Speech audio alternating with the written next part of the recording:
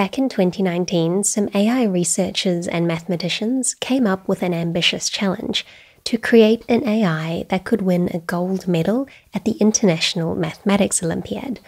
It was an ambitious challenge because winning a gold medal at this event puts you on the world stage as having one of the best mathematical minds.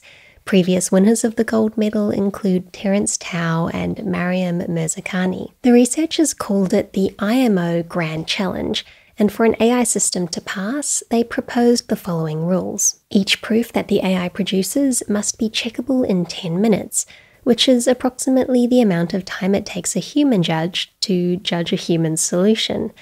The AI only has as much time as a human competitor, which is four and a half hours for each set of three problems, and the AI must be open source, released publicly, and reproducible. The AI cannot query the internet. As of recording this, we have met ChatGPT, and GPT 4 was released a couple of months ago. I'm sure that we'll be continually amazed by what it's able to do, but no AI, including ChatGPT, has yet won or even competed in the IMO competition. Bets are on, literally, for if and when one might succeed. GPT 4 is paraded around as having already aced many other exams, including the SAT and the Biology Olympiad, but it might never ace the IMO because the thing is that ChatGPT is actually not very good at math. It's not good at counting or keeping track of multiple operations because, after all, it is a language model that excels at predicting the next word in a sentence. Math questions on the SAT can be quite predictable and formulaic, and likely enough similar problems were included in the training dataset that it was able to get by. But the IMO problems are different, and they're designed to test true understanding and creative problem solving. I'd like to understand the likelihood of an AI passing this challenge soon, but in order to do that, I would first need to understand the solution to an IMO problem myself on human terms. Then I would like to understand how ChatGPT goes about solving it, and then see if there are any better AI competitors out there. Here's an IMO problem. This is the Olympics for math, so these problems are some of the hardest out there and can require creative solutions. This is problem 6 from the 2022 competition. Let n be a positive integer. A Nordic square is an n times n board containing all the integers from 1 to n squared, so that each cell contains exactly one number. Two different cells are considered adjacent if they share a common side.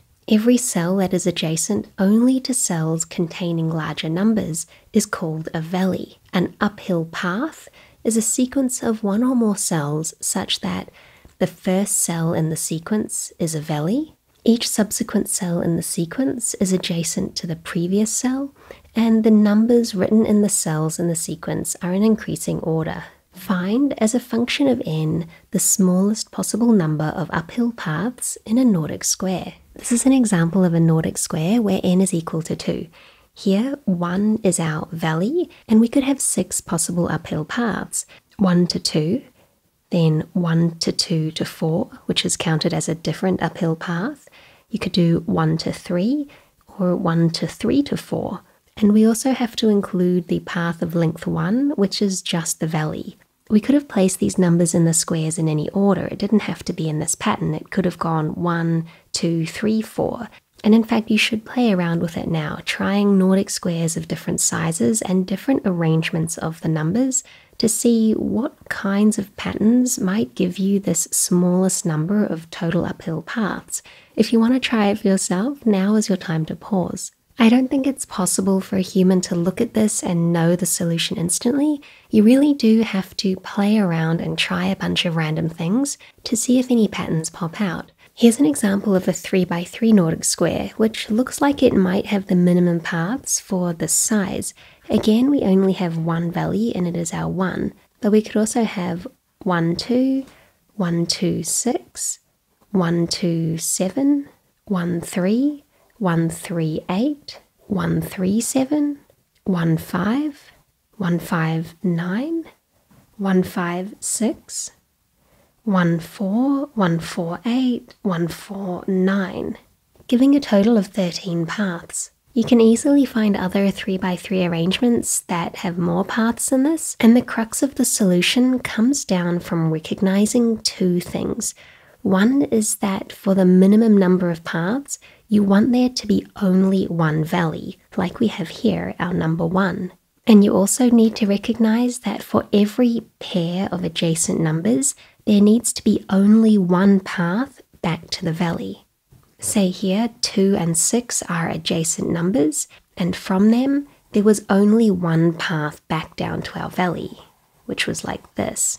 This essentially means you can have two paths coming to a common endpoint, but you can never have this.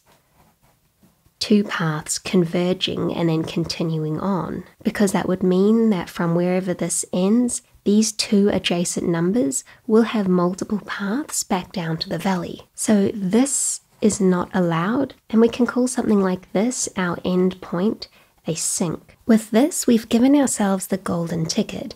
If every two adjacent numbers only have one path back to the valley, then the minimum number of paths in our Nordic square would be equal to the number of adjacent numbers. Counting the pairs of adjacent numbers here, we have 1, 2 in each row, and there's three rows, so that would be 2 times 3, that's 6 adjacent numbers that are adjacent horizontally, plus 1, 2, 3, 4, 5, 6 going vertically. So there'd be 12 pairs of adjacent numbers that's our number of minimum paths, but we have to remember to add one because our valley, our single valley, will also be its own single length path, giving 13 as the total minimum paths in this case. To extend that for any number of n, we will always have n minus 1 adjacent numbers on each row times n rows, and n minus 1 adjacent numbers on each column times the number of columns. So that's 2n times n minus 1 paths plus 1 to account for our valley. That's basically the answer here, and that will give you some points, but more points will come from the harder task of describing how to arrange the numbers to get this minimum. And that part of the solution comes from describing a tree like structure like this. If you put the numbers in increasing order in these trees, you end up with only one valley, and for every adjacent pair of numbers, only one path back to it. The black numbers here represent numbers higher than 153, so you fill in all these ones first, and then go back and fill in the black spaces with the higher ones.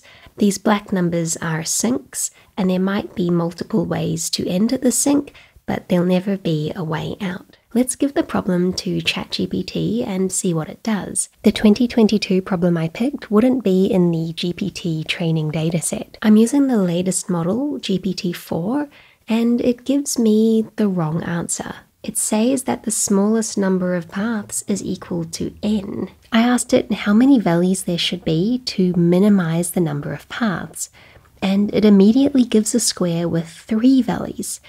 It says that the minimum is n valleys, which gives n paths.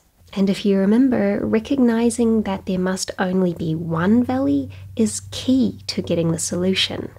I asked it to make a Nordic square with only one valley, which it did, but then it failed to count more than one path. And when I asked it to do it for larger squares, it gave constructions that for each adjacent pair, there were multiple paths back to the valley, and it just couldn't count paths correctly, even when I tried to point out mistakes.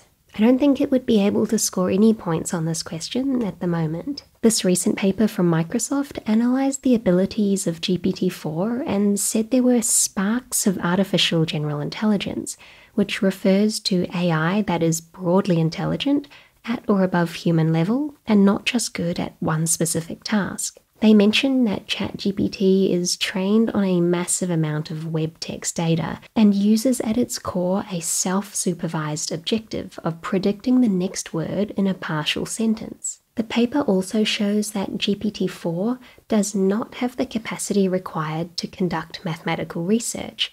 It does manage to solve one IMO question in here, but in many other problems, it lacks critical reasoning and the ability to examine each step of its arguments. They say one reason for this might be that in most of the math solutions it's read on the internet, most just give the correct answer, but don't capture the thinking process.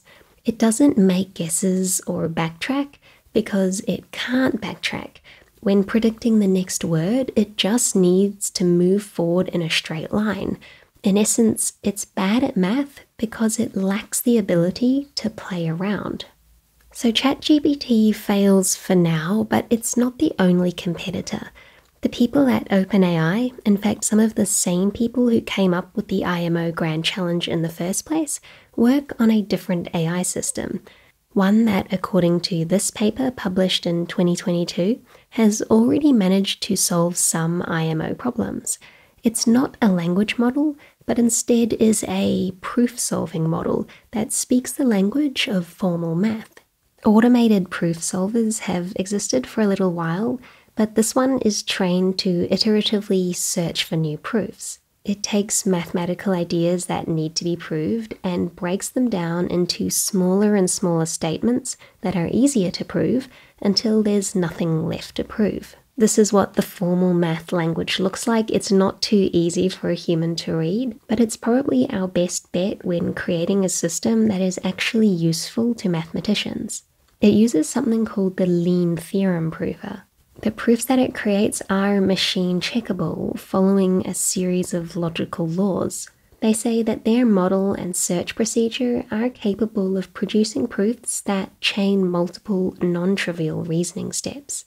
And it does require some creativity to invent lines like this. Combining an AI that can speak formal math and correctly prove statements with something like ChatGPT to make it more user friendly could really make some waves in math, and much more likely to pass the IMO Grand Challenge than a language model alone. And as I mentioned, while ChatGPT is still struggling with IMO problems, it has already passed a bunch of exams. There's a note here back in the Microsoft paper saying that GPT 4 does not rely on memorizing the exact problem statement, but on applying a general solution method.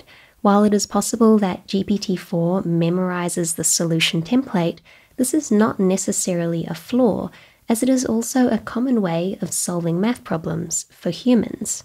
They're saying that GPT 4 has been able to pass a bunch of exams by doing what many of us do, which is kind of memorizing the structure of common problems.